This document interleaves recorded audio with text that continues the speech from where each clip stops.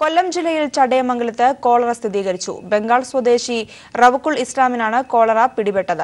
ഇയാൾ Thiruvananthapuram medical college ആശുപത്രിയിൽ ചികിത്സയിലാണ്. അതേസമയം ആരോഗ്യവകുപ്പ് റാപ്പിഡ് ആക്ഷൻ ടീമിന്റെ നേതൃത്വത്തിൽ പകർച്ചവ്യാധി തടയാൻ നടപടികൾ സ്വീകരിച്ചതായി Kollam deputy DMO doctor Sandhya അറിയിച്ചു. കൂടുതൽ വിവരങ്ങളുമായി രാജ്കുമാർ ചേരുകയാണ്. രാജ്കുമാർ കൊല്ലം ജില്ലയിൽ കോളറ സ്ഥിരീകരിച്ചിരിക്കുകയാണ്. എന്താണ് ഇതിന്റെ വിശദാംശങ്ങൾ? കഴിഞ്ഞ ഇരുപത്തിമൂന്നിനാണ് വയറിളക്കത്തെ തുടർന്ന് റൌക്കൽ ഇസ്ലാമിനെ ആശുപത്രിയിൽ പ്രവേശിപ്പിക്കുന്നത്. പരിശോധനാ ഫലം ഇന്നലെയാണ് എത്തിയത്. അപ്പോഴാണ് ഇയാൾക്ക് കോളറയാണെന്ന് സ്ഥിരീകരിച്ചത്. ഇതിനെ തുടർന്ന് തിരുവനന്തപുരം മെഡിക്കൽ കോളേജ് ആശുപത്രിയിൽ ഈ റൌക്കലിനെ പ്രവേശിപ്പിച്ചിട്ടുണ്ട്. ഒപ്പമുണ്ടായിരുന്ന മറ്റൊരു യുവാവിനും വയറിളക്കമുണ്ട്. അദ്ദേഹത്തെ ആയൂരിലുള്ള സർക്കാർ ആശുപത്രിയിലാണ് പ്രവേശിപ്പിച്ചിരിക്കുന്നത്. ഇവിടെ ഇതിന്റെ പരിശോധനാ ഫലം വന്നാൽ മാത്രമേ ഇയാൾക്ക് കോളറ ഉണ്ടോ ഇല്ലയോ എന്നുള്ളത് സ്ഥിരീകരിക്കാൻ കഴിയത്തുള്ളൂ. എന്തായാലും ആരോഗ്യവകുപ്പിന്റെ നേതൃത്വത്തിൽ റാപ്പിഡ് ആക്ഷൻ ടീം സ്ഥലത്തെത്തുകയും സ്ഥലത്തെത്തുകയും അവിടുന്ന് വെള്ളത്തിന്റെയും മറ്റും സാമ്പിളുകൾ ശേഖരിച്ചിട്ടുണ്ട്. എങ്ങനെയാണ് കോളറ പിടിപെട്ടു എന്നുള്ളതാണ് സംഘം പ്രധാനമായും അന്വേഷിക്കുന്നത്. ഇന്ന് പഞ്ചായത്തിന്റെ നേതൃത്വത്തിൽ ആരോഗ്യവകുപ്പും അതുപോലെ തൊഴിൽ വകുപ്പിന്റെയും നേതൃത്വത്തിൽ ഉദ്യോഗസ്ഥർ യോഗം ചേരുകയും ശുചിത്വമില്ലാത്ത ലേബർ ക്യാമ്പുകൾ പൂട്ടാനും തീരുമാനിച്ചിട്ടുണ്ട്. കൊല്ലം ജില്ലയിൽ കോളറ സ്ഥിരീകരിച്ചിരിക്കുന്നു. വിവരങ്ങൾ നൽകിയത് രാജ്കുമാർ. വെല്ലിംഗ്ടൺ ഐലൻഡിൽ അമോണിയം വാതകം ചോർന്നു. സമീപത്തുള്ള കേന്ദ്രീയ വിദ്യാലയങ്ങളിലെ കുട്ടികളെ മാറ്റുന്നു. ഫയർഫോഴ്സും ആംബുലൻസും അടക്കം പ്രദേശത്ത് എത്തിയിട്ടുണ്ട്. പ്ലാന്റിൽ നിന്നുള്ള അമോണിയം ചോർച്ച തടഞ്ഞതായി അധികൃതർ. കൂടുതൽ വിവരങ്ങളുമായി സിബി ചേരുകയാണ്. സിബി അമോണിയ വാതക ചോർച്ച നിയന്ത്രണ വിധേയമാണെന്നാണോ ഇപ്പോൾ പോലീസ് പറയുന്നത്? എന്താണ് അവിടെ നിന്നുള്ള വിശദാംശങ്ങൾ? പ്രിയ പ്രിയ ഇപ്പോഴും സ്ഥിതി നിയന്ത്ര പൂർണമായും നിയന്ത്രണ വിധേയമായിട്ടില്ല എന്നാണ് നമുക്ക് പോലീസ് നൽകുന്ന വിവരം. അതോടൊപ്പം തന്നെ ഇന്ന് ഉച്ചയ്ക്ക് ശേഷം രണ്ടു മണിയോടെയാണ് ഈ വില്ലിംഗ്ടൺ ഐലൻഡിലെ ഫാക്ടിൽ നിന്നും അമോണിയ വാതകം ചോർന്നത്. അത് ഒരു ലോറിയിൽ നിന്നും മറ്റൊരു ലോറിയിലേക്ക് മാറ്റുന്നതിനിടെയായിരുന്നു ഈ ചോർച്ച എന്നാണ് ഇപ്പോൾ നമുക്ക് ലഭിക്കുന്ന വിവരം. എന്തായാലും ഇത് അന്തരീക്ഷത്തിൽ വ്യാപിച്ച തുടർന്ന് ഈ സമീപത്തെ ആളുകൾക്കെല്ലാം തന്നെ ആഹ് ഏഹ് ദേഹാസ്വസ്ഥം ഉണ്ടായിട്ടുണ്ട്. അതുകൊണ്ട് തന്നെ ഈ സമീപത്തുള്ള നിരവധി പേരെ ഒഴിപ്പിച്ചുകൊണ്ടിരിക്കുകയാണ്. ഇപ്പോൾ ഈ വില്ലിംഗ്ടൺ ഐലൻഡിന് സമീപത്തുള്ള കേന്ദ്രീയ വിദ്യാലയങ്ങളിലെ വിദ്യാർത്ഥികളെല്ലാം എല്ലാം തന്നെ മാറ്റിക്കഴിഞ്ഞു. പിന്നീട് ഇവിടെ അടുത്തൊരു ക്വാർട്ടേഴ്സ് ഉണ്ട്. ആ ക്വാർട്ടേഴ്സിലെ എല്ലാ അവിടെ ക്വാർട്ടേഴ്സ് കഴിയുന്നവരെല്ലാം തന്നെയും ഇപ്പോൾ മാറ്റിക്കൊണ്ടിരിക്കുകയാണ്. അങ്ങനെ ഈ ഇപ്പോഴും ഇവിടെ ഏഴ് യൂണിറ്റോളം ഈ ഫയർഫോഴ്സും അതോടൊപ്പം തന്നെ ആംബുലൻസും അതുപോലെ തന്നെ പോലീസും എല്ലാം സ്ഥലത്തെത്തിയിട്ടുണ്ട്. വലിയ രീതിയിലുള്ള ഒരു രക്ഷാപ്രവർത്തനം ഇവിടെ നടത്തുന്നുണ്ട്. എന്തായാലും അമോണിയം വാതകത്തിന്റെ ചോർച്ച ഏകദേശം തടയാൻ കഴിഞ്ഞാലും ഇത് അന്തരീക്ഷത്തിൽ വ്യാപിച്ചു തുടർന്ന് ഇത് കാറ്റുള്ള പ്രദേശത്തേക്ക് നീങ്ങുകയും അതോടൊപ്പം തന്നെ ആ- പ്രദേശങ്ങളിലെ ജനങ്ങൾക്ക് ജനങ്ങൾ ആശങ്കയിലാണ്. അതോടൊപ്പം തന്നെ ചില അസ്വസ്ഥതകൾ ഉണ്ടായിട്ടുണ്ട്. എങ്കിലും വലിയ ഒരു അപകടത്തിലേക്ക് ഈ ചോർച്ച ഉണ്ടായില്ല എന്ന് നമുക്ക് പറയാൻ കഴിയും. എന്തായാലും ഈ സമീപത്തെ പ്രദേശത്തെ ഷൂട്ടിംഗ് ഒരു പകത് പാസിന്റെ ഒരു സിനിമ ഷൂട്ടിംഗ് നടന്നിരുന്നു. ഇവരെല്ലാം തന്നെയും ഷൂട്ടിംഗ് ലൊക്കേഷൻ എല്ലാം തന്നെ ഒഴിഞ്ഞിട്ടുണ്ട്. ഇങ്ങനെ ഈ സമീപത്തുള്ള ക്വാർട്ടേഴ്സിൽ നിന്നും സ്കൂളുകളിൽ നിന്നും എല്ലാം തന്നെയും ആളുകളെ എല്ലാം തന്നെ മാറ്റി കുട്ടികളെല്ലാം തന്നെ മാറ്റിക്കൊണ്ടിരിക്കുകയാണ്. ഇപ്പോഴും സ്ഥിതി പൂർണമായും നിയന്ത്രണ വിധേയമാണെന്ന് നമുക്ക് പറയാറായിട്ടില്ല. ഏതായാലും ഈ ഒരു ലോറിയിൽ നിന്നും മറ്റൊരു ലോറിയിലേക്ക് മാറ്റം നേടിയാണ് അമോണിയം ചോർന്നതെന്നാണ് നമുക്ക് ലഭിക്കുന്ന വിവരം. ഇപ്പോൾ ഫയർഫോഴ്സും പോലീസും എല്ലാം തന്നെ സ്ഥലത്ത് കൂടുതൽ കൂടുതൽ എത്തിക്കൊണ്ടിരിക്കുകയാണ്. ഇപ്പോഴും ഇവിടെ സ്ഥിതി നിയന്ത്രണ വിധേയമാക്കാനുള്ള തീവ്ര ശ്രമത്തിലാണ് ഇവരുള്ളത് പ്രിയ. വെല്ലിംഗ്ടൺ ഐലൻഡിൽ അമോണിയം വാതകം ചോർന്നിരിക്കുന്നു. സമീപത്തുള്ള കേന്ദ്രീയ വിദ്യാലയങ്ങളെ കുട്ടികളെ മാറ്റുകയാണ്. ഫയർഫോഴ്സും ആംബുലൻസും അടക്കം പ്രദേശത്ത് എത്തിയിട്ടുണ്ട്. വിവരങ്ങൾ നൽകിയത് സിബി. മുൻമന്ത്രി എ കെ ശശീന്ദ്രന്റെ ഫോൺ വിളി വിവാദത്തിൽ കോടതി വിധി പറയുന്നത് മാറ്റിവെച്ചു. തിരുവനന്തപുരം സിജെഎം കോടതിയുടെ നടപടി. ശശീന്ദ്രനെതിരെ പരാതിയില്ലെന്നും മന്ത്രിയുടെ ഔദ്യോഗിക വസതിയിൽ വെച്ച് തന്നെ ആരും ശല്യം ചെയ്തിട്ടില്ലെന്നും പരാതിക്കാരിയായ ചാനൽ പ്രവർത്തക കോടതിയെ അറിയിച്ചിരുന്നു. എന്നാൽ കേസ് തീർക്കരുതെന്നാവശ്യപ്പെട്ട് സ്വകാര്യ ഹർജിയും കോടതിയിൽ എത്തിയിട്ടുണ്ട്. കൂടുതൽ വിവരങ്ങളുമായി ലെസ്ലി ജോൺ ചേരുകയാണ്. ലെസ്ലി വിധി പറയുന്നത് കോടതി മാറ്റിയിരിക്കുകയാണ്. ഹർജി വന്നതിന്റെ അടിസ്ഥാനത്തിലാണ് ഇപ്പോൾ ഇത്തരത്തിലൊരു നീക്കം കോടതി കോടതിയുടെ ഭാഗത്തുനിന്നുണ്ടായത്. രാവിലെ ആയിരുന്നു വിധി പറയാൻ ഇരുന്നത്. ഇത് ഇത് പുതിയ ഒരു സ്വകാര്യ അന്യായം കൂടി ഫയലിൽ സ്വീകരിച്ചുകൊണ്ട് അത് വാദം കേട്ട ശേഷമായിരിക്കും ഇത്തരത്തിലൊരു തീരുമാനം ശശീന്ദ്രന്റെ പോങ്കണി വിവാദവുമായി ബന്ധപ്പെട്ടുണ്ടാകുക. ഏറ്റവും പ്രധാനപ്പെട്ടത് മഹാലക്ഷ്മി എന്ന ഒരു സ്ത്രീയാണ്. ഇത് സംബന്ധിച്ച് തൈക്കാ തൈക്കാട് സ്വദേശിയായ മഹാലക്ഷ്മിയാണ് നൽകിയിരിക്കുന്നത്. എന്നാൽ മഹാലക്ഷ്മി രണ്ടായിരത്തി പതിനഞ്ചിലാണ് തൈക്കാട് ഈ ഹർജിയിൽ കാണിച്ചിരിക്കുന്ന മേൽവിലാസത്തിൽ താമസിച്ചിരുന്നത്. ഇപ്പോൾ അവിടെ അങ്ങനെ ഒരാളില്ല എന്നുള്ളതാണ് ഏറ്റവും പുതുതായി വരുന്ന അറിയിക്കാനുള്ളത്. വീട്ടുജോലി ചെയ്തിരുന്ന ആളായിരുന്നു ഒരു വീട്ടുജോലിക്കാരിയായിരുന്നു മഹാലക്ഷ്മി എന്നാണ് നമുക്ക് മനസ്സിലാക്കാൻ കഴിയുന്നത്. എന്തായാലും നിർണായകമായ ഈ ഹർജി പരിഗണിക്കുന്ന ഘട്ടത്തിൽ നിർണായകമായ മറ്റൊരു വ്യ- വ്യവസ്ഥ കൂടി വരുന്നു. ആരോ മനഃപൂർവം ഈ കേസിന്റെ വിധി ഇന്നുണ്ടാകാതിരിക്കാനുള്ള ശ്രമം നടത്തിയിരിക്കുന്നു എന്ന് വേണം നമുക്ക് മനസ്സിലാക്കാൻ. എന്തായാലും കേസ് കോടതി അല്പസമയത്തിനുള്ളിൽ തന്നെ പരിഗണിക്കും. മുൻമന്ത്രി എ കെ ശശീന്ദ്രന്റെ ഫോൺ വിളി വിവാദത്തിൽ കോടതി വിധി പറയുന്നത് മാറ്റിവെച്ചു. തിരുവനന്തപുരം സി ജെ എം കോടതിയുടേതാണ് വിധി. നടപടി വിവരങ്ങൾ നൽകിയത് ലെസ്ലി ജോൺ. കോടതി വിധി വരുന്നതിന് മുന്നേ അഭിപ്രായം പറയുന്നത് ശരിയല്ലെന്നും വിധി വന്നതിനു ശേഷം പ്രതികരിക്കാമെന്നും എ കെ ശശീന്ദ്രൻ കണ്ണൂരിൽ പറഞ്ഞു. അല്ല എനിക്കതിനെപ്പറ്റി യാതൊരു ഒരു കോടതി നടപടികൾ അവിടെ നടക്കുകയാണ്. അത്രയും വിവരമേ എനിക്കുള്ളൂ. കോടതി നടപടികൾ പുരോഗമിച്ചുകൊണ്ടിരിക്കുന്നതിനിടയിൽ അതുമായി ബന്ധപ്പെട്ട് നല്ലതോ ചീത്തയോ എന്തെങ്കിലും ഒന്ന് പറയുന്നത് അങ്ങേയറ്റം അനുചിതമായ ഒരു കാര്യമായിരിക്കും. അതുകൊണ്ട് കോടതിയിലെ നടപടികൾ തീരട്ടെ. അപ്പോൾ നമ്മളെല്ലാവരും ഇവിടെ ഉണ്ടല്ലോ. നമുക്ക് സംസാരിക്കാം. ഫോൺകണി കേസിൽ കോടതി വിധി അനുകൂലമായാൽ ശശീന്ദ്രൻ മന്ത്രിയാകുമെന്ന എൻ സി പി സംസ്ഥാന അധ്യക്ഷൻ ടി പി പീതാംബരൻ. വിധി വന്നതിനുശേഷം ഇക്കാര്യങ്ങൾ സംബന്ധിച്ച് നടപടികൾ സ്വീകരിക്കുമെന്നും അദ്ദേഹം പറഞ്ഞു. അല്ല വിധി വന്നാൽ സ്വാഭാവികം തുടർ നടപടികൾ ഉണ്ടാകുമല്ലോ. അതിന് സംശയിക്കേണ്ട കാര്യമില്ലല്ലോ. തീർച്ചയായിട്ടും. പാർട്ടിയെ സംബന്ധിച്ചുള്ള ഒരു പ്രശ്നമില്ല വിധി വന്നു കഴിഞ്ഞാൽ പാർട്ടി സ്വാഭാവികമായിട്ടും പാർട്ടിക്ക് നേരത്തെ തന്നെ നിലപാടിൽ വ്യക്തമാക്കിയിട്ടുള്ളതാണല്ലോ. അതനുസരിച്ച് കാര്യങ്ങൾ മുമ്പോട്ട് പോകും. അത് നേരത്തെ പ്രഖ്യാപിച്ചിട്ടുള്ള കാര്യമാണ്. വിധി വന്നിട്ട് പറ്റിയ കാര്യം നമ്മൾ തീരുമാനമായിട്ട് എടുക്കാൻ പറ്റില്ലല്ലോ. കാരണം വിധി വന്നു കഴിഞ്ഞാൽ ആ വിധി കേന്ദ്രത്തെ അറിയിക്കേണ്ട കാര്യമുണ്ട്. അവരുടെയും കൂടി അംഗീകാരം കിട്ടേണ്ട കാര്യമുണ്ട്. അവരുടെ കൂടി ഇതോടുകൂടി ആയിരിക്കും കാര്യങ്ങൾ മുമ്പോട്ട് പോകുന്നത്. അധികം താമസം ഉണ്ടാവോ കാലതാമസം താമസം ഉണ്ടാകേണ്ട കാര്യമില്ലല്ലോ. താമസിക്കേണ്ട കാര്യമില്ലല്ലോ. അനധികൃത സ്വത്ത് സമ്പാദന കേസിൽ ടി ഒ സൂരജിനെതിരെ മൂവാറ്റുപുഴ വിജിലൻസ് കോടതിയിൽ കുറ്റപത്രം സമർപ്പിച്ചു. സൂരജിന് വരവിൽ കവിഞ്ഞ സ്വത്തുണ്ടെന്ന വിജിലൻസ്. കൂടുതൽ വിവരങ്ങളുമായി സമീർ ചേരുകയാണ്. സമീർ വിശദാംശങ്ങൾ. വരവിൽ കവിഞ്ഞ സ്വത്ത് സമ്പാദനവുമായി ബന്ധപ്പെട്ട് ഉയർന്ന ആരോപണങ്ങളുടെ അടിസ്ഥാനത്തിലായിരുന്നു വിജിലൻസ് കേസ് രജിസ്റ്റർ ചെയ്ത് പൊതുമരാമത്ത് മുൻ സെക്രട്ടറി ടി ഒ സൂരജിനെതിരെ അന്വേഷണം നടത്തിയത്. ഈ അന്വേഷണത്തിനൊടുവിലാണ് ഇപ്പോൾ മൂവാറ്റുപുഴ വിജിലൻസ് കോടതിയിൽ എറണാകുളം വിജിലൻസ് സ്പെഷ്യൽ സെല്ല് കുറ്റപത്രം സമർപ്പിച്ചിരിക്കുന്നത്. ഗുരുതരമായിട്ടുള്ള കണ്ടെത്തലുകളാണ് വിജിലൻസ് സൂരജിനെതിരെ നടത്തുന്നത്.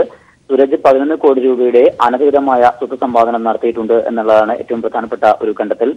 രണ്ടായിരത്തി നാല് മുതൽ രണ്ടായിരത്തി പതിനാല് വരെയുള്ള സൂരജ് നടത്തിയിട്ടുള്ള സാമ്പത്തിക ഇടപാടുകളും അതോടൊപ്പം തന്നെ മറ്റ് ഭൂമിയുമായി ബന്ധപ്പെട്ട് നടത്തിയിട്ടുള്ള ഇടപാടുകൾ അടക്കമുള്ള കാര്യങ്ങൾ ഇദ്ദേഹത്തിന്റെ ഓഫീസിൽ നിന്നും അതോടൊപ്പം തന്നെ ബന്ധുക്കളുടെയും വീടുകൾ ഓഫീസുകൾ ഒപ്പം ബാങ്ക് അക്കൗണ്ടുകൾ തുടങ്ങിയിട്ടുള്ള കാര്യങ്ങളിലുള്ള വിശദമായിട്ടുള്ള പരിശോധനയാണ് വിജിലൻസ് പൂർത്തിയാക്കിയത്. രണ്ടായിരത്തി നാല് മുതൽ രണ്ടായിരത്തി പതിനാല് വരെയുള്ള കാലയളവിൽ ഉണ്ടാക്കിയിട്ടുള്ള വരുമാനത്തിൽ മുന്നൂറ്റി പതിനാല് ശതമാനം അനധികൃത സമ്പാദ്യമുണ്ട് എന്നും വിജിലൻസിന്റെ കുറ്റപത്രത്തിൽ വ്യക്തമാക്കുന്നുണ്ട്.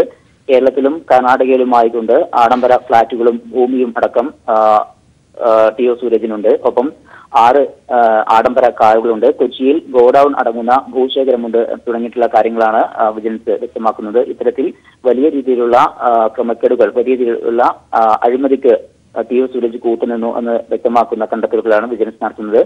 പൊതുമരാമത്ത് വകുപ്പിലെ കരാറുകൾക്കും അതോടൊപ്പം തന്നെ റിലയൻസിന്റെ ഫോർ ജി കേബിളുകൾ ഇടുന്നതിന് പൊതുമരാമത്തിന്റെ റോഡുകൾ ആദ്യഘട്ടത്തിൽ ഇതിന് അനുമതി നൽകിയതുമായി ബന്ധപ്പെട്ടുമുള്ള കാര്യങ്ങളെല്ലാം തന്നെ വിജിലൻസ് പരിശോധിച്ചു. ഈ കാര്യങ്ങളെല്ലാം നടത്തിയിട്ടുള്ള അനധികൃതമായിട്ടുള്ള ഇടപെടലിലൂടെയാണ് ഈ പത്ത് വർഷ കാലയളവിൽ പതിനൊന്ന് കോടിയുടെ അനധികൃത സമ്പാദ്യമുണ്ട് എന്ന് കണ്ടെത്തിയിരിക്കുന്നത്. രണ്ടായിരത്തി പതിനാലിലായിരുന്നു സൂരജിന്റെയും ബന്ധുക്കളുടെയും വീടുകളിലും ഓഫീസുകളിലും ഒപ്പം ബാങ്ക് അക്കൗണ്ടുകൾ ബാങ്ക് അക്കൗണ്ടുകൾ അടങ്ങിയിട്ടുള്ള കാര്യങ്ങളെല്ലാം തന്നെ വിജിലൻസ് വിശദമായിട്ടുള്ള പരിശോധന നടത്തിയതും ഈ റെയിലിൽ നിന്ന് വിശദമായിട്ട് രേഖകൾ കണ്ടെടുക്കുകയും ചെയ്തിരുന്നു. ഇതേ തുടർന്ന് ഇതിന്റെ വിശദമായിട്ടുള്ള പരിശോധന പൂർത്തിയാക്കിയ ശേഷമാണ് ഇപ്പോൾ വിജിലൻസ് മൂവാറ്റുപുഴ വിജിലൻസ് കോടതിയിൽ കുറ്റപത്രം സമർപ്പിച്ചിരിക്കുന്നത്. അനധികൃത സ്വത്ത് സമ്പാദന കേസിൽ ടി ഒ സൂര്യനെതിരെ മൂവാറ്റുപുഴ വിജിലൻസ് കോടതിയിൽ കുറ്റപത്രം സമർപ്പിച്ചു. ക്ഷമിക്കണം. കേന്ദ്ര ബജറ്റ് സമ്മേളനത്തിന് തിങ്കളാഴ്ച തുടക്കമാകും. സമ്മേളനത്തിന് മുന്നോടിയായി സ്പീക്കർ സുമിത്ര മഹാജൻ നാളെ സർവകക്ഷി യോഗം വിളിച്ചു. ബജറ്റ് സമ്മേളനത്തിൽ ഇരു സഭകളിലും ഉന്നയിക്കേണ്ട വിഷയങ്ങൾ യോഗത്തിൽ ചർച്ചയാകും. ഫെബ്രുവരി ഒന്നിന് ധനമന്ത്രി അരുൺ ജെയ്റ്റ്ലി കേന്ദ്ര ബജറ്റ് അവതരിപ്പിക്കും. ജി എസ് ടി നടപ്പാക്കിയതിനു ശേഷമുള്ള ആദ്യ ബജറ്റാണ് ഫെബ്രുവരി ഒന്നിന് അവതരിപ്പിക്കുന്നത്. ധനമന്ത്രി അരുൺ ജെയ്റ്റ്ലി തുടർച്ചയായി അവതരിപ്പിക്കുന്ന അഞ്ചാമത്തെ ബജറ്റാണിത്. നോട്ട് നിരോധനത്തെ തുടർന്നുണ്ടായ സാമ്പത്തിക മാന്ദ്യം സാമ്പത്തിക വളർച്ചയിലെ ഇടിവ് എന്നിവ കേന്ദ്ര സർക്കാരിന് തലവേദനയാണ്. തിങ്കളാഴ്ച ബജറ്റ് സമ്മേളനം ആരംഭിക്കും. സമ്മേളനത്തിന് മുന്നോടി സ്പീക്കർ സുമിത്ര മഹാജൻ നാളെ സർവകക്ഷി യോഗം വിളിച്ചിട്ടുണ്ട്. സമ്മേളനത്തിൽ ഇരു സഭകളിലും ചർച്ച ചെയ്യേണ്ട വിഷയങ്ങളെക്കുറിച്ച് സർവകക്ഷി യോഗം ചർച്ച ചെയ്യും. ബജറ്റ് സമ്മേളനത്തിന്റെ ആദ്യപാദം ഇരുപത്തെട്ടിന് തുടങ്ങി ഫെബ്രുവരി ഒമ്പതിന് അവസാനിക്കും. മാർച്ച് അഞ്ചിന് ആരംഭിക്കുന്ന രണ്ടാം പാദം ഏപ്രിൽ ആറിന് അവസാനിക്കും. അതേസമയം ബജറ്റ് സമ്മേളനത്തിൽ സ്വീകരിക്കേണ്ട നിലപാടുകളെക്കുറിച്ച് രാഹുൽ ഗാന്ധിയുടെ അധ്യക്ഷതയിൽ കഴിഞ്ഞ ദിവസം ചേർന്ന പ്രതിപക്ഷ പാർട്ടികളുടെ യോഗത്തിൽ ചർച്ച ചെയ്തു. വൈദ്യുതി ഭേദഗതി ബില്ലും നാഷണൽ മെഡിക്കൽ അസോസിയേഷൻ ബില്ലും ബജറ്റ് സമ്മേളനത്തിൽ അവതരിപ്പിക്കും. ശീതകാല സമ്മേളനത്തിൽ പ്രതിഷേധങ്ങളെ തുടർന്ന് സ്റ്റാൻഡിംഗ് കമ്മിറ്റിക്ക് വിട്ട മെഡിക്കൽ കമ്മീഷൻ ബില്ലിൽ ബജറ്റ് സമ്മേളനത്തിന് മുന്നേ റിപ്പോർട്ട് സമർപ്പിക്കാനും സ്റ്റാൻഡിംഗ് കമ്മിറ്റിക്ക് നിർദ്ദേശം നൽകിയിരുന്നു. ഫെബ്രുവരി ഒന്നിന് ബജറ്റ് അവതരിപ്പിക്കുന്ന സാഹചര്യത്തിൽ സാമ്പത്തിക സർവേ റിപ്പോർട്ട് ഇരുപത്തിയൊമ്പതിന് തന്നെ അവതരിപ്പിക്കും ന്യൂസ് ബ്യൂറോ ദില്ലി. മദ്യനയത്തിനെതിരെ ജേക്കബ് തോമസ് രംഗത്ത്. ആരെ വേണമെങ്കിലും വളയ്ക്കാനും ഒടിക്കാനും മദ്യമാഫിയയ്ക്ക് ശക്തിയുണ്ടെന്ന് ജേക്കബ് തോമസ്. മദ്യമാഫിയെ എതിർക്കുന്നവർക്ക് പിന്നെ യൂണിഫോം ഇടേണ്ടി വരില്ലെന്നും ജേക്കബ് തോമസ് പറഞ്ഞു. അപ്പോൾ ഈ പറഞ്ഞ ഏഴ് കാര്യങ്ങൾക്ക് മദ്യം വരുമാനമാണ് മദ്യം തൊഴിലാണ് മദ്യം ആഘോഷമാണ് മദ്യം മരുന്നാണ് മദ്യം വ്യവസായമാണ് മദ്യം അഴിമതിയാണ് എന്നുള്ള ഈ കാര്യങ്ങൾക്ക് അതിനേക്കാളും മെച്ചപ്പെട്ട ഉത്തരങ്ങൾ തേടുക എന്നുള്ളതാണ് നമ്മൾ ഓരോരുത്തരും ചെയ്യേണ്ടത്.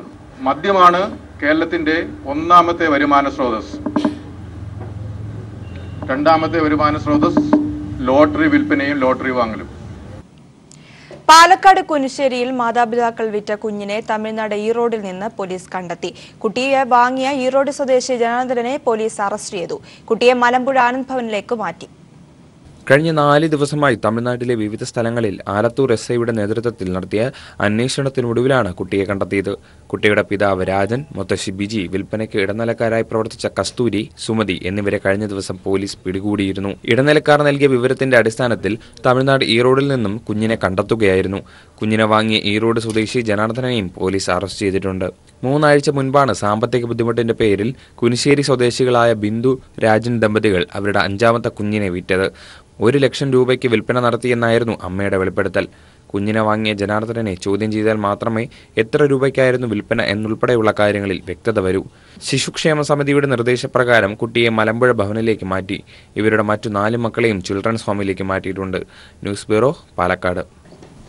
പാലക്കാട് പട്ടാമ്പി നഗരസഭയിൽ കമ്മ്യൂണിറ്റി ഡെവലപ്മെന്റ് സൊസൈറ്റി തിരഞ്ഞെടുപ്പ് അട്ടിമറിക്കാൻ യു ഡി എഫ് ശ്രമം. യു ഡി എഫ് ഭരിക്കുന്ന മുനിസിപ്പാലിറ്റിയിൽ ചെയർപേഴ്സൺ സ്ഥാനത്തേക്ക് എൽ ഡി എഫ് വിജയിച്ചതോടെ സത്യപ്രതിജ്ഞ തടയാൻ ശ്രമിക്കുകയായിരുന്നു. നഗരസഭയിൽ അനുമതി നിഷേധിച്ചതിനാൽ കളക്ടറുടെ നിർദ്ദേശപ്രകാരം പുറത്തുവച്ച് സത്യപ്രതിജ്ഞാ ചടങ്ങ് പൂർത്തിയാക്കി. പട്ടാമ്പി മുനിസിപ്പാലിറ്റിയിലെ ഇരുപത്തിയെട്ട് വാർഡുകളിലെ സി ഡി എസ് തെരഞ്ഞെടുപ്പ് പൂർത്തിയാക്കിയ ശേഷം ചെയർപേഴ്സൺ സ്ഥാനത്തേക്ക് കഴിഞ്ഞ ദിവസമാണ് തെരഞ്ഞെടുപ്പ് നടന്നത്. രണ്ട് വോട്ടുകൾ അസാധുവായതോടെ എൽ ഡി എഫിനും യു ഡി എഫിനും പതിമൂന്ന് വോട്ടുകൾ ലഭിച്ചു. തുടർന്ന് നറുക്കെടുപ്പിലൂടെ എൽ ഡി എഫിനെ വിജയിയായി പ്രഖ്യാപിച്ചു. ഇതോടെ തെരഞ്ഞെടുപ്പ് അംഗീകരിക്കില്ലെന്ന നിലപാട് യു ഡി എഫ് സ്വീകരിച്ചു. തുടർന്ന് ഉദ്യോഗസ്ഥരെ കൂട്ടുപിടിച്ച് സത്യപ്രതിജ്ഞാ ചടങ്ങ് മുനിസിപ്പാലിറ്റിയിൽ നടത്താൻ അനുമതി നിഷേധിക്കുകയായിരുന്നു. മുനിസിപ്പൽ സെക്രട്ടറിയെ സ്വാധീനിച്ച് അവർ ഇതിന് തടസ്സം സൃഷ്ടിക്കാൻ വേണ്ടി മുനിസിപ്പാലിറ്റി ഓഫീസ് പൂട്ടിട്ടിരിക്കുകയാണ്. മുനിസിപ്പാലിറ്റിയിൽ സത്യപ്രതിജ്ഞ ചടങ്ങ് നടക്കുന്നത് നിഷേധിക്കുകയാണ് ചെയ്തിട്ടുള്ളത്. ഇതിൽ തികച്ചും ജനാധിപത്യ വിരുദ്ധമായിട്ടുള്ള ഒരു നടപടിയാണ് ഇവർ കൈക്കൊണ്ടിട്ടുള്ളത്. പിന്നീട് കലക്ടർ ഇടപെട്ട് പി ഡബ്ല്യു ഡി റെസ്റ്റ് ഹൌസിൽ വെച്ചാണ് സത്യപ്രതിജ്ഞ പൂർത്തിയാക്കിയത്. വൈസ് ചെയർപേഴ്സൺ സ്ഥാനം ലഭിച്ച യു ഡി എഫ് ചടങ്ങ് ബഹിഷ്കരിച്ചു. ജനാധിപത്യ രീതിയിൽ തെരഞ്ഞെടുപ്പ് അട്ടിമറിക്കാൻ ശ്രമിച്ച ഉദ്യോഗസ്ഥർക്കെതിരെ നടപടിയെടുക്കണമെന്നാവശ്യപ്പെട്ട് സി ഡി എസ് ചെയർപേഴ്സണും പ്രതിപക്ഷ കൌൺസിലർമാരും കലക്ടർക്കും തദ്ദേശ സ്വയംഭരണ വകുപ്പ് മന്ത്രിക്കും പരാതി നൽകിയിട്ടുണ്ട്. News bureau Palakkad. മെത്രാൻ കായൽപ്പാടത്ത് മരുന്ന് തളിക്കാൻ ആളില്ല വിമാനമെത്തുന്നു ഹെലിക്കാൻ മാതൃകയിലുള്ള ഡ്രോണുകളിൽ മരുന്ന് നിറച്ച് പ്രത്യേക അളവിൽ സ്പ്രേ ചെയ്യുന്ന രീതിയാണ് മെത്രാൻ കായലിൽ അവലംബിക്കുക. സംസ്ഥാനത്ത് ആദ്യമായിട്ടാണ് കൃഷിയിടത്തിൽ ഡ്രോൺ പരീക്ഷണം നടപ്പാക്കുന്നത്. പുളിരസമുള്ള മണ്ണാണ് അപ്പർ കുട്ടനാടൻ മേഖലയിലേത്. മഴ കുറഞ്ഞതോടെ ഉണങ്ങി വരേണ്ട പാടശേഖരത്ത് അമ്ലത്വം വർദ്ധിച്ച് ഇരുമ്പിന്റെ അംശം മണ്ണിൽ അധികമായി. ഇതോടെ നെൽച്ചെടികളുടെ വളർച്ചയ്ക്ക് ആവശ്യമായ സൂക്ഷ്മമൂലകങ്ങൾ ലഭിക്കുന്നില്ല. ഈ കുറവ് പരിഹരിക്കാനാണ് സിങ്ക് ബോറോൺ മഗ്നീഷ്യം കാൽസ്യം എന്നിവയടങ്ങുന്ന സൂക്ഷ്മമൂലകങ്ങൾ ഡ്രോണിന്റെ സഹായത്തോടെ മെത്രാങ്കായൽ പാടശേഖരത്ത് തളിക്കാൻ കൃഷിവകുപ്പ് ലക്ഷ്യമിടുന്നത്. ഒരു പാടശേഖരത്തിൽ ഒരുപോലെ മുഴുവൻ സ്ഥലങ്ങളിൽ നമുക്ക് എങ്ങനെ സ്പ്രേ ചെയ്യാമെന്നതിനെ കുറിച്ച് നമുക്ക് ഈ ഡ്രോണുകൾ ഉപയോഗിച്ച് ചെയ്യാമെന്നുള്ളതാണ് ഇതിന് സ്പ്രേയിങ് മാത്രമല്ല വിവിധങ്ങളായ മറ്റു ടെക്നോളജികൾ നമുക്കുണ്ട്. ഇതിന്റെ ക്യാമറകൾ ഉപയോഗിച്ച് നമ്മുടെ ടോട്ടൽ ഏരിയ എത്രയൊന്ന് കണ്ടുപിടിക്കാൻ സാധിക്കും. അതുപോലെ ചെടിയുടെ ഹെൽത്ത് അത് പ്രത്യേകമായ ക്യാമറകൾ ഉപയോഗിച്ച് അതിന്റെ ആരോഗ്യം പഠിക്കുന്നതിന് സാധിക്കും. മങ്കൊമ്പ് കീടനാശിനി നിയന്ത്രണ വിഭാഗത്തിന്റെ നേതൃത്വത്തിൽ ഈ മാസം ഇരുപത്തിയൊൻപതിനാണ് ഡ്രോൺ പരീക്ഷണം. സാങ്കേതിക സഹായം നൽകുന്നത് ബംഗളൂരുവിലെ ആര്യൻ മാപ്പിംഗ് സൊല്യൂഷനാണ് കർണാടകയിലെ ഷിമോഗയിൽ പരീക്ഷിച്ച് വിജയിച്ച ഈ രീതി സംസ്ഥാനത്ത് ആദ്യമായാണ് മെത്രാങ്കായലിൽ നടപ്പാക്കുന്നത്. News bureau Kottayam. നടൻ ഉണ്ണി മുകുന്ദൻ അപകീർത്തിപ്പെടുത്താനും ഭീഷണിപ്പെടുത്താനും ശ്രമിക്കുന്നുവെന്ന പരാതിയിൽ പരാതിക്കാരിയായ യുവതി ഇന്ന് കോടതിയിൽ ഹാജരായേക്കും. പരാതിക്കാരിയോട് ഇന്ന് നേരിട്ട് ഹാജരാകാൻ എറണാകുളം സിജെഎം കോടതി നിർദ്ദേശം നൽകിയിരുന്നു. തിരക്കഥാകൃത്തായ യുവതി കഥ പറയാനായി ഉണ്ണി മുകുന്ദന്റെ വീട്ടിലെത്തിയപ്പോൾ അവിടെ വെച്ച് പീഡിപ്പിക്കാൻ ശ്രമിച്ചുവെന്നാരോപിച്ച് യുവതി നേരത്തെ പരാതി നൽകിയിരുന്നു. ഇക്കേസിൽ ജാമ്യത്തിലിറങ്ങിയ ഉണ്ണി മുകുന്ദൻ തന്നെ ഭീഷണിപ്പെടുത്താൻ ശ്രമിക്കുന്നുവെന്ന് ചൂണ്ടിക്കാട്ടി യുവതി വീണ്ടും കോടതിയെ സമീപിച്ചിരുന്നു. തനിക്ക് പോലീസ് സംരക്ഷണം നൽകണമെന്നും ഹർജിയിൽ ആവശ്യം ഉന്നയിച്ചിട്ടുണ്ട്. അതേസമയം യുവതി കള്ളക്കേസിൽ കുടുക്കാൻ ശ്രമിക്കുകയാണെന്ന് ഉണ്ണി മുകുന്ദന്റെ അഭിഭാഷകനും വാദിച്ചിരുന്നു. വാദം കേട്ട കോടതി പരാതിക്കാരിയോട് ഇന്ന് നേരിട്ട് ഹാജരാകാൻ നിർദ്ദേശിക്കുകയായിരുന്നു. മുൻ മുഖ്യമന്ത്രി ഉമ്മൻചാണ്ടി സീറോ മലബാർ സഭ മേജർ ആർച്ച് ബിഷപ്പ് കർദിനാൾ ജോർജ് ആലഞ്ചേരിയെ സന്ദർശിച്ചു. എറണാകുളം ബിഷപ്പ് ഹൌസിൽ നടന്ന കൂടിക്കാഴ്ച മുക്കാൽ മണിക്കൂറോളം നീണ്ടു. മുൻ മുഖ്യമന്ത്രിയുമായുള്ള കൂടിക്കാഴ്ച സംബന്ധിച്ച് കർദിനാൾ പ്രതികരിച്ചില്ല. സൗഹൃദ സന്ദർശനം മാത്രമായിരുന്നുവെന്ന് ഉമ്മൻചാണ്ടി പറഞ്ഞു. മഹാരാഷ്ട്രയിലെ കോലാപൂരിൽ മിനി ബസ് മറിഞ്ഞ് പതിമൂന്ന് പേർ മരിച്ചു. പാഞ്ചഗംഗ നദിയിലേക്കാണ് മിനി ബസ് മറിഞ്ഞത്. ഗൺപതിപുലയിൽ നിന്ന് പൂനെയിലേക്ക് പോവുകയായിരുന്ന ബസ്സിൽ പതിനേഴ് പേരുണ്ടായിരുന്നു. ശിവജി പാലത്തിൽ വെച്ച് ഡ്രൈവർക്ക് ബസിന്റെ നിയന്ത്രണം നഷ്ടപ്പെട്ടതാണ് അപകടത്തിന് കാരണം. പരിക്കേറ്റ മറ്റുള്ളവരുടെ നിലയും ഗുരുതരമാണ്.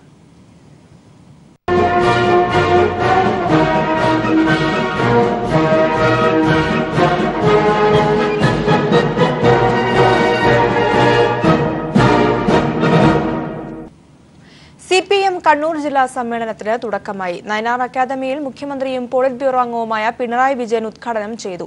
വർഗീയതയ്ക്ക് ചെറുക്കാൻ കോൺഗ്രസിന് കഴിയില്ലെന്ന് മുഖ്യമന്ത്രി പറഞ്ഞു. കോൺഗ്രസുമായി സഖ്യമോ ധാരണയുണ്ടാക്കില്ലെന്നും മുഖ്യമന്ത്രി വ്യക്തമാക്കി. നയനാർ അക്കാദമിയിലെ പി കെ നാരായണ മാസ്റ്റർ നഗറിൽ മുതിർന്ന നേതാവ് ഒ വി നാരായണൻ പതാക ഉയർത്തിയതോടെയാണ് C P I M Kannur ജില്ലാ സമ്മേളനത്തിന് തുടക്കമായത്. പ്രതിനിധി സമ്മേളനം മുഖ്യമന്ത്രിയും പൊളിറ്റ് ബ്യൂറോ അംഗവുമായ പിണറായി വിജയൻ ഉദ്ഘാടനം ചെയ്തു. വർഗീയതയെ ചെറുക്കാൻ കോൺഗ്രസിനെ കൊണ്ടാകില്ലെന്ന് പിണറായി പറഞ്ഞു. കോൺഗ്രസിന് സ്വാധീനമുണ്ടായിരുന്ന സംസ്ഥാനങ്ങളിലാണ് ബി ജെ പി വളരുന്നത്. ബി ജെ പിയെയും സഖ്യകക്ഷികളെയും പരാജയപ്പെടുത്തുന്നതിന് ജനാധിപത്യ ശക്തികളുടെ ശക്തമായ ഐക്യനിര ഉയർത്തിക്കൊണ്ടുവരണം. എന്നാൽ കോൺഗ്രസുമായി സഖ്യമോ ധാരണയോ ഉണ്ടാകില്ലെന്നും പിണറായി വ്യക്തമാക്കി. പാർട്ടിയെ വളർത്തുന്നതിനും ഇടതൈക്യം ശക്തിപ്പെടുത്തുന്നതിനുമായിരിക്കും മുൻഗണനയെന്നും പിണറായി പറഞ്ഞു. ബി ജെ പിയെ പ്രതിരോധിക്കൽ ശരിയായ നയ സമീപനങ്ങളുടെ അടിസ്ഥാനത്തിൽ രൂപപ്പെടുന്ന ബദലിനു മാത്രമേ സാധിക്കൂ. അതുകൊണ്ട് ബി ജെ പിയും അതിന്റെ ശക്തി സഖ്യശക്തികളും പരാജയപ്പെടേണ്ടതായിട്ടുണ്ട്. അതിന് എല്ലാ മതേതര ജനാധിപത്യ ശക്തികളെയും ഒന്നിച്ചു ചേർക്കുക എന്നത് തന്നെയാണ് മുഖ്യം. സി പി ഐ എം അത് തന്നെയാണ് കാണുന്നത്. എന്നാൽ അത് ചെയ്യുന്നത്. കോൺഗ്രസ് പാർട്ടിയുമായി ധാരണയോ തെരഞ്ഞെടുപ്പ് സഖ്യമോ ഉണ്ടാക്കിക്കൊണ്ടാവരുത് എന്നും സി പി ഐ എം കാണുകയാണ്. ജില്ലാ കമ്മിറ്റി അംഗങ്ങൾ ഉൾപ്പെടെ നാനൂറ്റി അൻപത്തിയേഴ് പ്രതിനിധികളാണ് സമ്മേളനത്തിൽ പങ്കെടുക്കുന്നത്. ജില്ലാ സെക്രട്ടറി പി ജയരാജൻ അവതരിപ്പിച്ച പ്രവർത്തന റിപ്പോർട്ടിന്മേലുള്ള ചർച്ച ഇന്നും നാളെയും തുടരും. സംസ്ഥാന സെക്രട്ടറി കോടിയേരി ബാലകൃഷ്ണൻ കേന്ദ്ര കമ്മിറ്റി അംഗങ്ങളായ E P Jayarajan P Karunakaran Elamaram Kareem A K Balan K K Shailaja P K Sreemathi സംസ്ഥാന സെക്രട്ടേറിയറ്റ് അംഗങ്ങൾ തുടങ്ങിയവരും സമ്മേളനത്തിൽ പങ്കെടുക്കുന്നുണ്ട്. കണ്ണൂരിൽ നിന്നും പി വി കുട്ടൻ. മുൻമന്ത്രി എ കെ ശശീന്ദ്രന്റെ ഫോൺ വിളി വിവാദത്തിൽ ശശീന്ദ്രനെതിരെ ഹർജി നൽകിയ സ്വകാര്യ ഹർജിയിൽ ദുരൂഹത ദുരൂഹത ഹർജി നൽകിയ സ്ത്രീ നൽകിയ മേൽവിലാസം തെറ്റാണ് എന്നൊരു വിവരമാണ് ലഭിക്കുന്നത്. ഇതിന്റെ വിശദാംശങ്ങളുമായി ലെസ്ലി ചേരുകയാണ്. ലെസ്ലി ഇപ്പോൾ ഹർജിക്കാരി ഹർജി നൽകിയതിൽ ദുരൂഹത എന്നൊരു വാർത്തയാണ് വരുന്നത്. ഹർജിക്കാരിയുടെ മേൽവിലാസം തെറ്റാണെന്നും അറിയുന്നു. ആ ഒരു മേൽവിലാസത്തിൽ മഹാലക്ഷ്മി എന്നൊരു ആൾ താമസമില്ല എന്ന ഒരു വിവരമാണ് ലഭിക്കുന്നത്. എന്താണ് ഇതിന്റെ വിശദാംശങ്ങൾ? പ്രധാനമായും നേരത്തെ തന്നെ രാഷ്ട്രീയ കോഴിവക്കം സൃഷ്ടിച്ച ഒരു കേസായി മാറിയിരുന്നു ഫോൺ വിളി വിവാദവുമായി ബന്ധപ്പെട്ട വിഷയം. ഇത് ഇതുമായി ബന്ധപ്പെട്ട് മന്ത്രിയുടെ രാജിയിലേക്ക് പോലും ഈ വിഷയം കലാശിക്കുകയും ചെയ്തിരുന്നു. ഇതിന്റെ അന്തിമ വിധിയുമായി ബന്ധപ്പെട്ടാണ് ഇന്ന് കോടതി അന്തിമ വിധി നൽകാനിരുന്നത്. സി ജി എം കോടതിയിൽ അന്തിമ വിധി നിലനിൽക്കുകയാണ് രാവിലെ പുതിയ ഒരു സ്വകാര്യ ഹർജി മഹാലക്ഷ്മി ടി സി ഇരുപത്തിനാല് ബാർ പതിമൂന്ന് എഴുപത്തി മൂന്നാം നമ്പർ തൈക്കാട് ബാബുജി നഗറിൽ നിന്നും വരുന്നത്. ഇതുമായി ബന്ധപ്പെട്ട ഹർജി ഉച്ചയ്ക്ക് ശേഷം മൂന്ന് മണിയോടുകൂടി പരിഗണിക്കാനിരിക്കുന്ന ഘട്ടത്തിലാണ് മൂന്നരയോടുകൂടി പരിഗണിക്കാനിരിക്കുന്ന ഘട്ടത്തിലാണ് ഇപ്പോൾ വളരെ നിർണായകമായ ഹർജിയിൽ ഒരു ദുരൂഹത ഉളവാക്കിക്കൊണ്ടുള്ള സംഭവവികാസങ്ങൾ ഉണ്ടായിരിക്കുന്നത് നമ്മൾ അന്വേഷിച്ചെത്തിയപ്പോൾ തൈക്കാട് ടി സി ഇരുപത്തിനാല് പതിമൂന്ന് എഴുപത്തി ഏഴാം നമ്പർ വീട്ടിൽ ഇത്തരത്തിൽ ആരും താമസിക്കുന്നില്ല.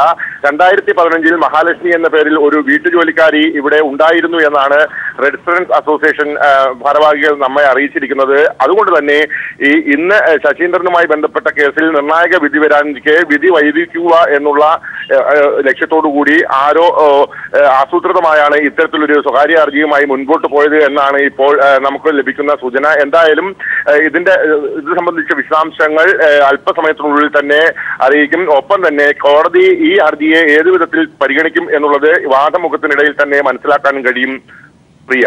ശശീന്ദ്രരായ ഹർജിയിൽ ദുരൂഹത.